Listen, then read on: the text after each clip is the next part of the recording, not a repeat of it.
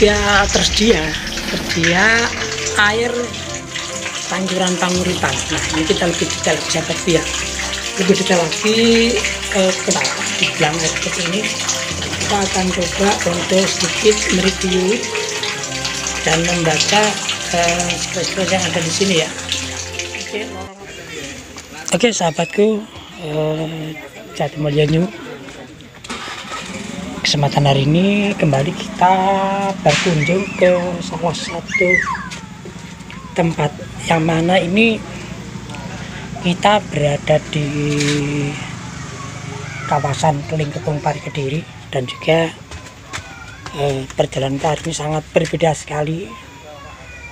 Sangat berbeda sekali dan ini kalau tidak kita review atau tidak kita perkenalkan ke halayak umum yang jelas semuanya nggak tahu ya. Dan juga untuk eh, para sahabatku semuanya di kesempatan hari ini tentunya semoga teman-teman dalam keadaan sehat walafiat tidak kurang satu apa pun juga. Oke sahabatku eh, kita sampaikan selamat datang. Dan ini kita udah lama sekali ya tidak mereview ke tempat ini. Udah lama sekali tidak eh, datang ke tempat ini suasana cukup berbeda sekali dari sebelumnya ya. Oke untuk sahabatku semuanya di mana pun anda berada juga untuk teman-teman yang hari ini yang baru saja bersama kita di Jatimulya New media pemersatu umat dan pelestari budaya tentunya kita juga menyampaikan selamat datang teman-teman. Yang baru merapat ini sangat uh, fenomenal sekali. Tentunya bagi uh, sahabatku semuanya di mana pun anda berada untuk rekan-rekan agar lebih berhati-hati ya. Kita hari ini berada di Nganulur Neng Guwonjegles nah ini ya Neng Guwonjegles yang konon katanya ini dulu eh, pernah dipakai eh, pertapa.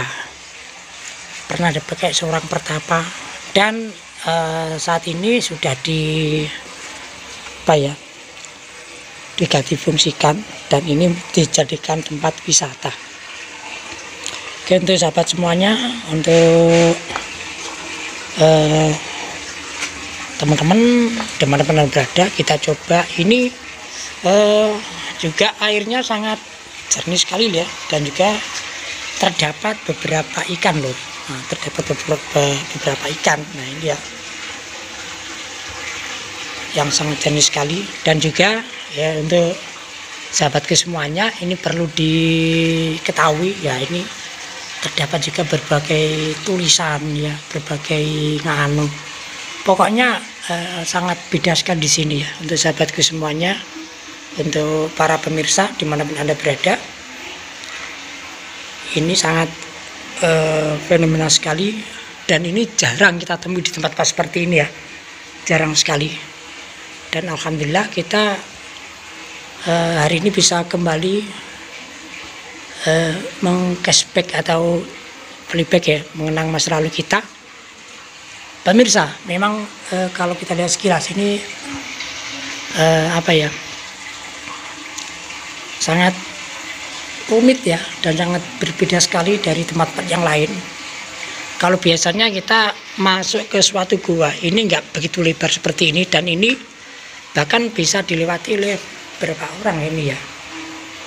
Sangat uh, beda sekali.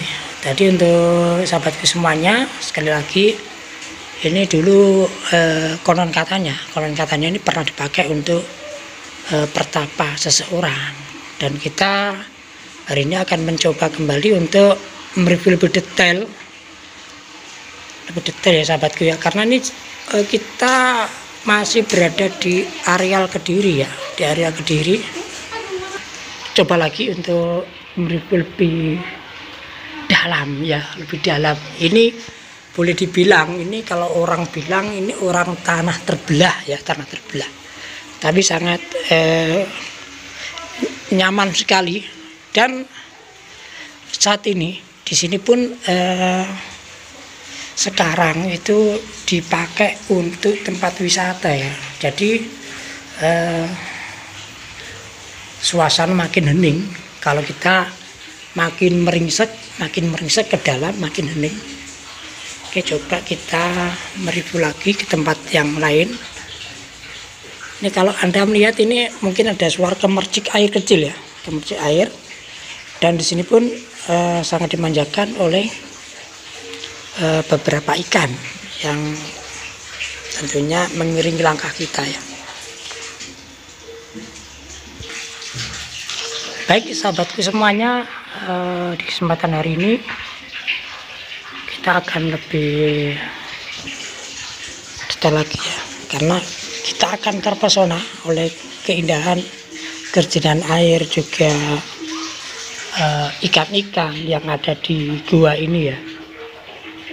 Ya tapi ini dulu uh, memang bener bener loh ini menyimpan uh, mitos yang ada. Katanya orang dulu di sini pernah dipakai orang melakukan pertapa. Oke, yang jelas untuk teman-teman semuanya agar lebih diketahui bahasanya di tempat-tempat seperti ini ya kita tidak boleh melakukan aktivitas merokok ya. Oke kita coba lagi untuk melihat ini. Ini juga sangat unik dan unik sekali sahabatku ya.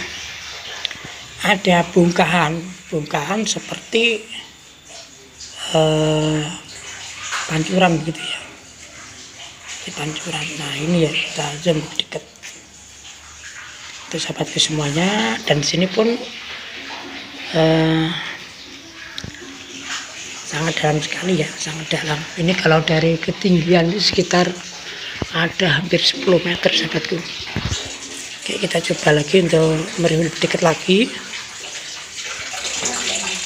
Oke sahabatku uh, di sini juga tersedia tersedia air pancuran panguripan. Nah ini kita lebih detail sahabatku ya. Lebih detail lagi uh, kenapa bilang air ini. Kita akan coba untuk sedikit mereview dan membaca uh, yang ada di sini ya. Oke lorong-lorong yang terbentuk dari kawasan gua Yeger sebagian besar eh, adalah lorong-lorong buatan masa lalu dan lorong tersebut digunakan sebagai aliran aliran air bersih ya di zaman kerajaan bahkan hingga saat ini. Saluran tersebut eh, satu bagian dari dari persalahan ya. Bisa selat batu ini juga. Nah ini yang tidak kalah lagi eh, tidak sedikit orang meyakini aliran yang eh, berasal dari pancuran ini dapat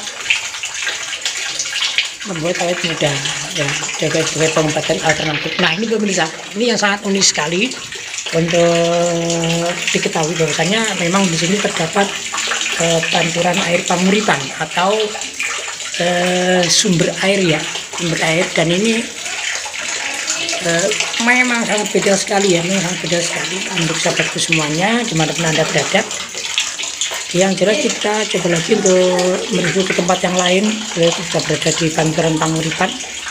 Kita coba lagi ya. Uh, menuju dan memang uh, memang ini ya sudah berada di di berbagai peradaban ya. Uh, berbagai peradaban masa lalu. Yang jelas untuk eh, sahabatku semuanya ini kalau jadi terat dingin sekali ya. Oke coba kita ke tempat lain sahabatku ya. Oke pemirsa kita kembali ke jalan semula ya. Kita kembali ke jalan semula untuk sahabatku semuanya jadi sekali lagi bisa katakan bahwasanya memang di sini terdapat berbagai eh, macam jenis ikan yang ada di tempat ini ya Oke untuk sahabatku semuanya juga kita sampaikan uh, selamat datang teman-teman. Semangat selalu kita jaga kelestarian alam dan kita jaga uh, budidaya luhur atau budaya luhur kita. Karena uh, bangsa yang besar adalah bangsa yang menghargai para jasa orang-orang terdahulu kita atau leluhur kita yang sudah mendahului kita